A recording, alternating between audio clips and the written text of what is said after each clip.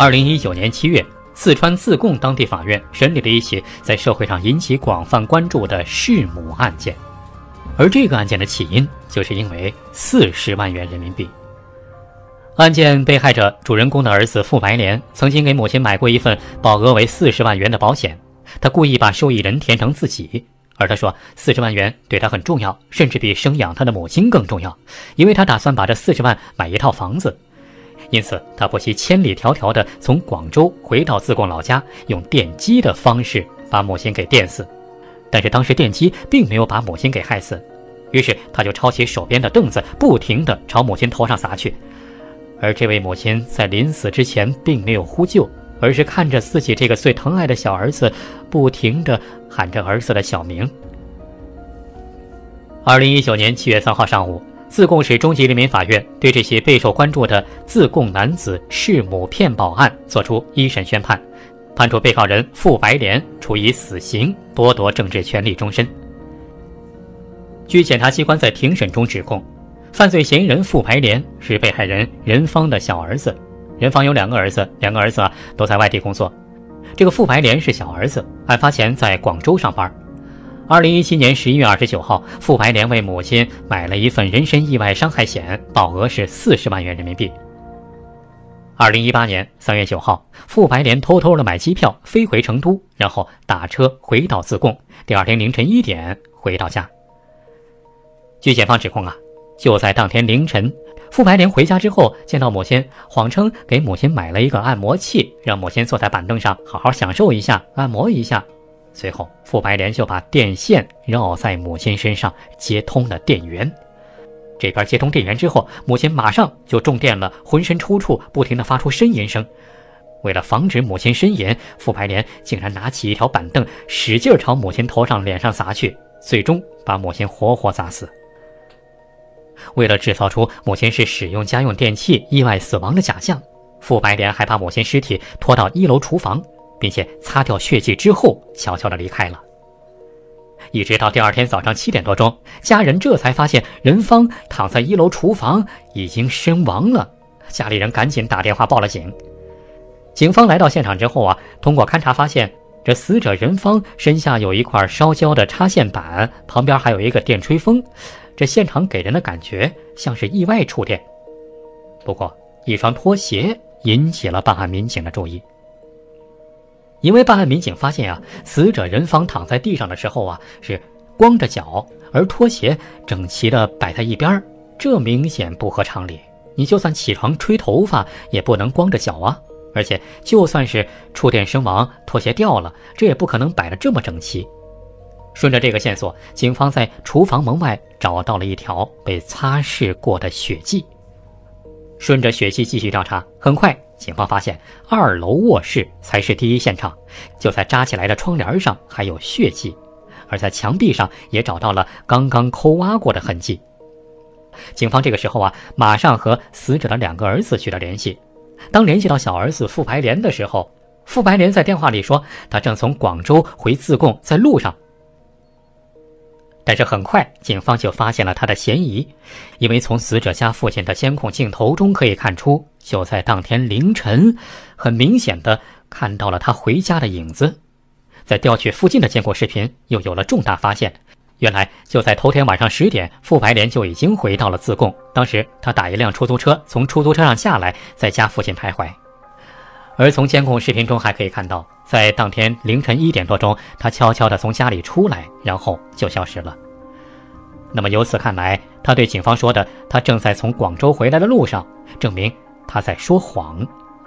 他为什么说谎？在这起案件中，他又是一个什么样的角色呢？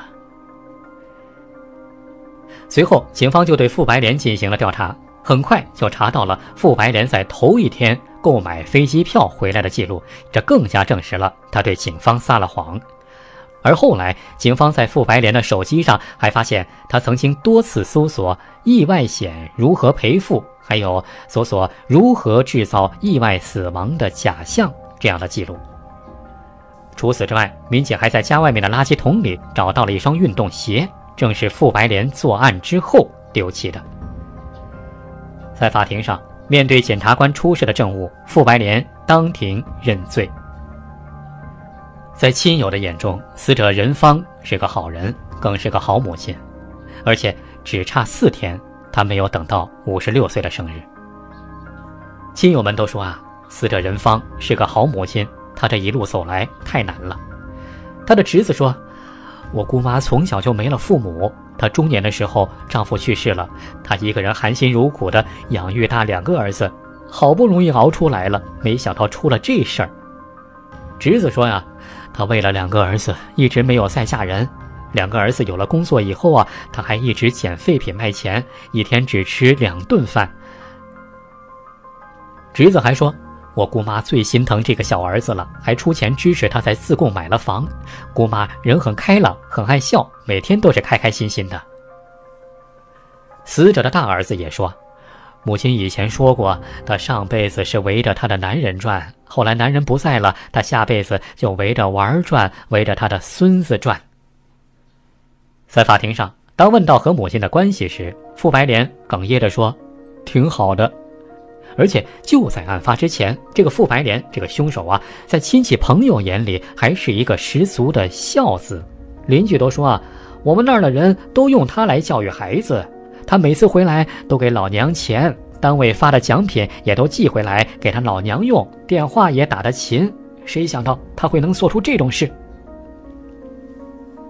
而了解他们的亲戚还知道这么一个细节：说傅白莲参加工作以后，每次节假日回家都会在母亲房间里临时搭一个小床。他知道母亲辛苦，晚上想和母亲聊聊天很孝顺。所以后来就是在死者举行葬礼的时候。警察把傅白莲从葬礼上带走了，当时参加葬礼的亲友们都差点和警察急了。事后大家都说：“谁能想到这样的人竟然能干出这种大逆不道的事？”就这样，傅白莲为了钱把母亲捆住之后，活活给电死了。而且为了害怕母亲没死，傅白莲还拿起一条板凳，使劲朝母亲的头上、脸上砸去。而更可怜的是，母亲死前并没有向他求饶。只是一遍一遍的不停喊：“都是妈的错，妈没有教育好你呀。”据傅白莲的大哥后来回忆说，母亲在生前有一次曾突然对他说了一句：“你弟弟有点自私，还有点虚伪，心也毒。”看来呀，母亲看人还是挺准的。那么，为什么傅白莲要杀害母亲骗保险金呢？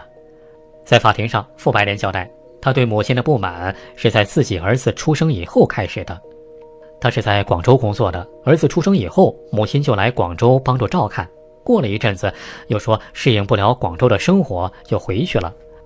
母子俩为此沟通了几次，母亲本来同意了，但是后来还是反悔了，因为她说啊，她当时已经快六十岁了，去广州生活真的水土不服，身体受不了。还有就是语言不通，无法和人交流，出个门都会迷路。不过为了能让小儿子满意，母亲甚至说可以让孙子跟自己回老家住。但是对于母亲的这种说法，傅白莲并不愿意。看到儿子不答应，母亲就只好一个人回家了。于是母亲在傅白莲心里就显得非常偏心，因为她觉得母亲把自己哥哥的儿子都照顾到十多岁了，而不愿意帮自己带孩子。从这之后，傅白莲就有点怨气了。后来母子俩还多次说过这事儿，但是说着说着就要吵起来。而最终，傅白莲之所以起了要杀死母亲的心，是因为他后来在广州看中了一套房子，当时卖一百多万。可是，就算把自己所有钱加到一块儿，包括把自己在自贡的房子也卖掉之后，这首付款还有很大缺口。于是，傅白莲这个时候就生了杀母骗保险金的恶念。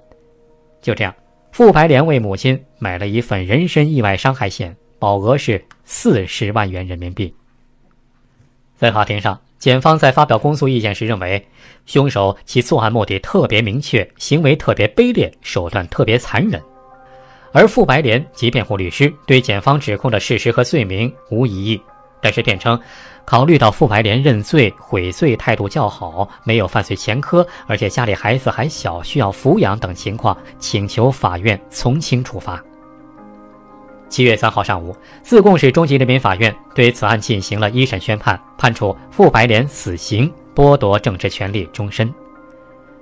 宣判后，庭审法官问傅白莲是否上诉，傅白莲沉默了大约十秒钟，在法官第二次提问的时候，他才低声回答了一句：“我考虑一下。”这个案件啊，就说到这儿了。最后啊，老王还想再说两句。咱们中国有句老话：“宁要要饭的娘，不要当官的爹。”你看这话是有道理的。这是因为在生活里啊，母亲对孩子的爱往往更加深刻，而母亲也常常为了孩子要吃更多的苦，付出更多的牺牲，就是为了能够让孩子吃饱穿暖。因此，我们常说母爱是最伟大的。母亲在孩子的成长中付出了那么多，但是孩子在长大以后能够记得母亲这份恩情的又有多少呢？你看，在这个案件中，这位五十六岁的母亲这一辈子基本上就没有过过什么好日子。幼年失去父母，中年又失去丈夫，一个人好不容易拉扯两个儿子长大，供他们读书，帮他们买房。为了两个儿子，母亲没有再嫁。虽然生活这么辛苦，但是她在周围眼里还是一个很开朗、很爱笑的人，每天都开开心心的。而且啊，把两个孩子抚养成人以后，母亲为了不增加孩子的负担，靠着捡废品增加收入，还每天只吃两顿饭。像这样一个不计回报爱着孩子的母亲，得到的却不是孝敬，而是伤害。因此啊，很多人都觉得这个傅白莲是个白眼狼。其实生活里面像这样的白眼狼还真不少。他们或许不会像傅白莲那样胆大到愚蠢到居然敢杀害自己母亲。但是，这些孩子的自私行为却表现在方方面面。比如，很多家长、很多父母给孩子付出一切，家里有什么好的、好吃的都留给孩子，但是孩子却越来越自私，自私到根本就想不到父母。而白眼狼的养成啊，也正是因为很多父母教育失误，很多孩子都生活在过于宠溺的环境中，只知道索取，不知道怎么回报。所以家长在这儿就做错了。如果只知道爱孩子，但是不教会孩子如何去爱别人，只知道无穷无尽的索取，那将来肯定会变成一个自私自利的人。要让孩子知道什么是换位思考，只有孩子理解了别人的感受之后，才不会做出伤害别人的事。只有这样，才是对孩子。